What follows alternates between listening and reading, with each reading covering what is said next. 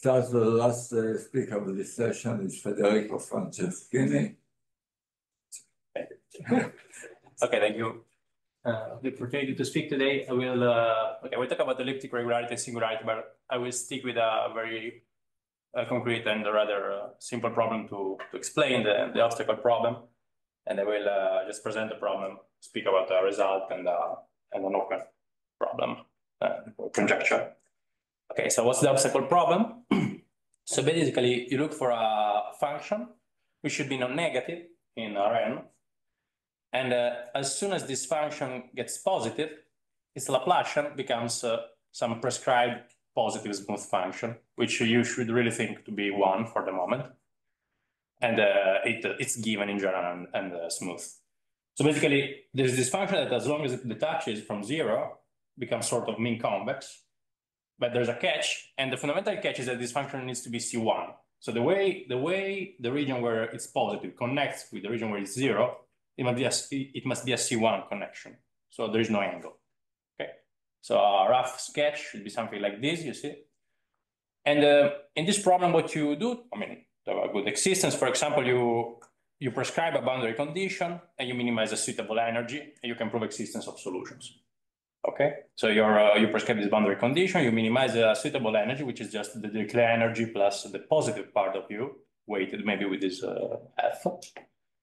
And the function will reach, possibly, conceivably, the zero, and then it will stick there for a while in a region, which is the contact set, the boundary of which, of which is called the free boundary. The free boundary is this uh, is the boundary of the region where u is positive. What's important is that you don't pres prescribe it. Okay, you prescribe the boundary condition, so this boundary is free in this sense. It's not uh, easy to, to understand what this region is like given the boundary condition.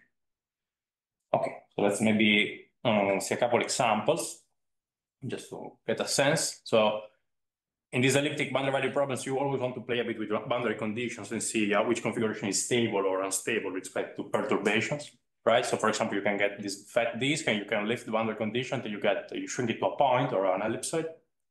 These are 2D examples, but in 3D things get uh, way more messier, but what I will talk about is generally in n dimensions.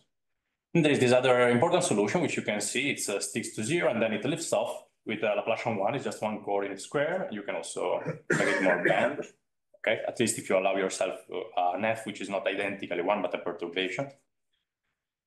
Then there is also this sort of more uh, bureaucratic solution, you know, it's just Laplacian one, it touches somewhere. So it actually solves Laplacian equal one and it's non-negative, but technically speaking, we need also these solutions, and uh, they have a free boundary, and it's fair to, to put them in, uh, to consider them as well, because they are rising one way or the other.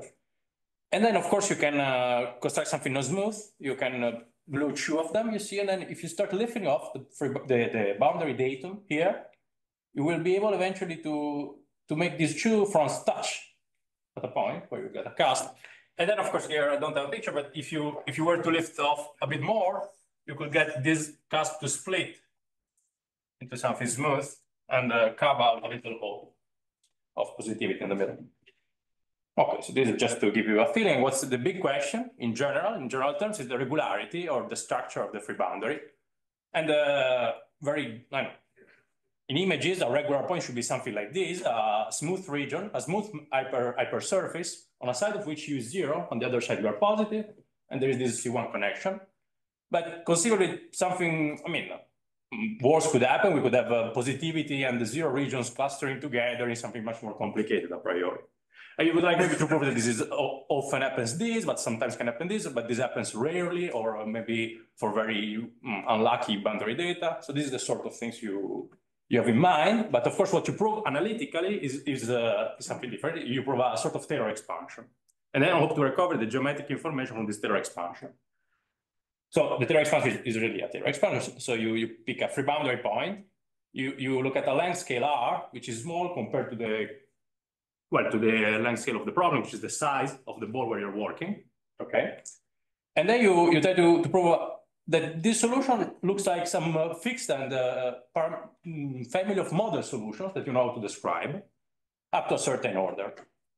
Uh, let me remark that typically here you would work with polynomials if you were working with a linear equation, etc. But in this sort of non-smooth and non, uh, non-linear problems, there might be more general objects than polynomials, and it's important to parameterize them, but in some sense, they have nothing wrong. As long as you can parameterize them with a fine number of parameters, up to a given n, you're sort of happy because typically these parameters carry the geometric information on the free boundary.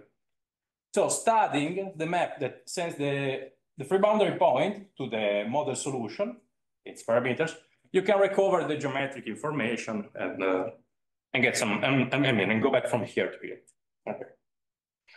So the, the prototype of this uh, kind of statement is a, uh, was a, is a theorem by Caffarelli from the 70s, a breakthrough in the area. So here, let's take F1 for the moment, but the statement is essentially the same, which proved that such an expansion it holds up to order two, which is the first non-trivial order.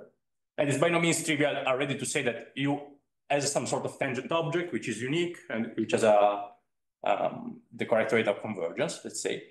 What Caffarelli found out is that this QZ essentially can be only two things, uh, and they are separate and only one of the two atoms. Let's let's see together. So either QZ is this uh, sort of ramp solution uh, uh, in, along some direction EZ, which carries the geometric information of where the tangent plane is, and these points will be called, let's, for definition, regular for the moment. Or uh, QZ is just a quadratic polynomial, which is non-negative, and is Laplacian one. So you should think that these points will be called singular, and you should think that in this situation, at the infinitesimal pointwise level, you don't see the obstacle. Your solution at the infinitesimal level is just solving a one and being non-negative. While here you still see the obstacle and the fat one and flat, both, uh, uh, at, at the infinitesimal level. Okay, so uh, what's the geometric counterpart of these analytic statements is that the regular points are indeed regular in the sense that what I was showing before happens. So, oh, sorry, we're in this setting on the left. So around the regular point, you only find other regular points locally arranged along a smooth hypersurface and uh, on a side of which you vanish and uh, on the other side you use positive and uh, Laplacian one. Um, and this surface in this infinity. In the, instead, the geometric information around singular points is a bit more tricky. So you have to further stratify them according to the nullity of the symmetric matrix that you get here. And if uh, the, the, the matrix has nullity k, you will be in the kth singular stratum.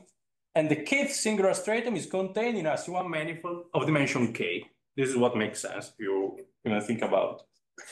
Um, let me stress that uh, contained in general for F's infinity with infinity methods cannot be upgraded to equal to.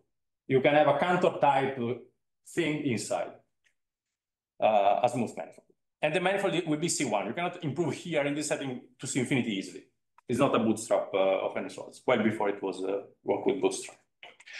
Okay, so what's the... Mm, there are a lot of results and things one can ask. Today I present something, uh, let's say, a bit short to, to say, but kind of uh, reasonable, I think. So you have the free boundary now, which is an n minus one dimensional object. And I told you that you, you can split it into the regular, the top dimensional singular stratum, and then the lower dimensional stratum. Okay, to get a rough sense of what the free boundary is like, you could say, okay, at least these guys are packed in something lower dimensional. But what about the, the top n minus one dimensional uh, typical point? It's not only regular, there are also th these guys in the top dimensional singular stratum, which one would like to understand a bit better. And so these are the three, three situations that we have to be able to, we would like to describe.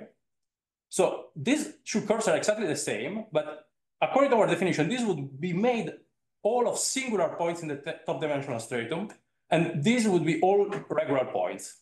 But in some sense, we would like to, to say that they're kind of similar. I mean, on the other hand, this point here in this example is still in sigma n minus one, but I hope you would agree with me that intuitively this should be a bit more singular because there's truly a cusp. So what's the, the idea is that here morally I'm solving Laplacian equal one a lot, while here I see some sort of flatness at a certain order, some sort of context. Okay, so this is the trying to make this intuition precise is what is behind this theorem, which uh, I obtained with uh, Wiktoria uh, Zaton uh, some years ago, building on the methods of uh, Figalli Serra and Figalli Serra Ros-Oton, which essentially says that indeed you can find an n minus one dimensional uh, stratum, sigma regular, so sorry, inside the top dimensional state, you can find a sort of a regular part in the singular set. So this set sigma regular covers the most part of the uh, singular set in the sense that if you remove it, you get something which is lower dimensional. So you can pack it somehow here. This is the first property. The second property is that around these points, you are solving the equation Laplacian equal one and not seeing the obstacle at all possible orders. So at, at infinity level. So for all z in the regular in this part and uh, for all integers, you have a tangent polynomial up to every order. And this polynomial is, an is a series uh, which solves uh, Laplacian equal one and is non-negative. And further, this sigma regular part is contained as infinity hypersurface. In the, at the geometric level, there is this little improvement from C1 to C infinity. But um, okay.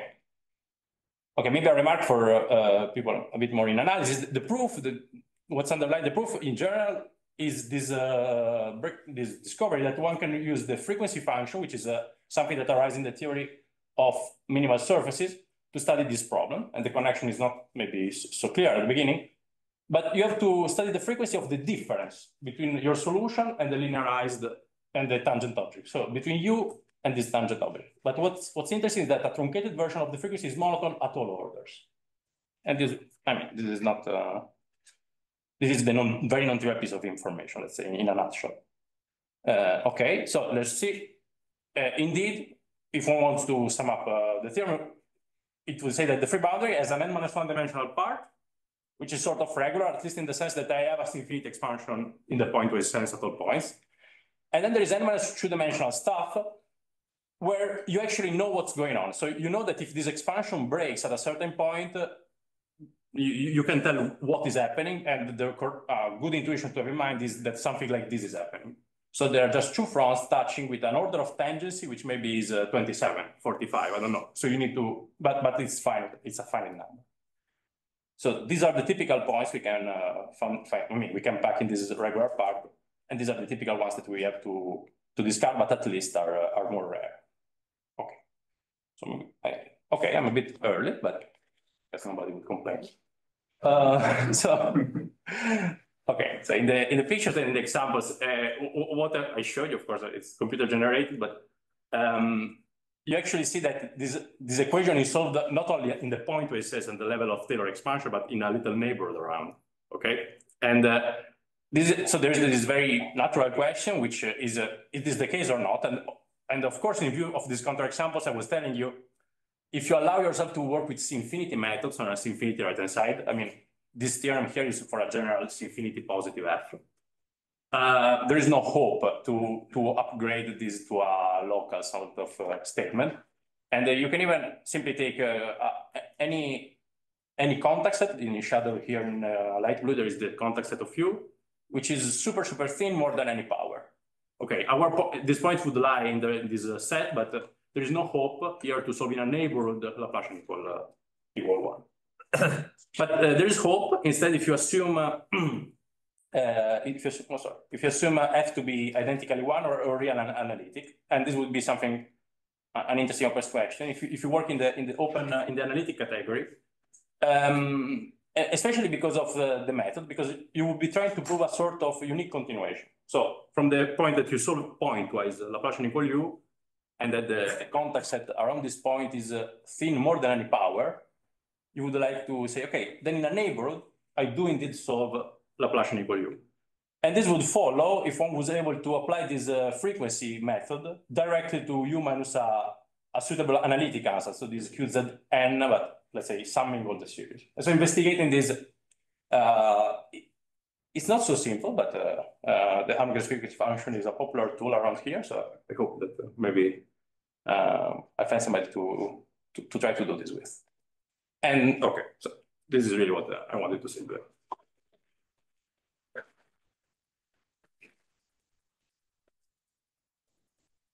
All right, question, Federico.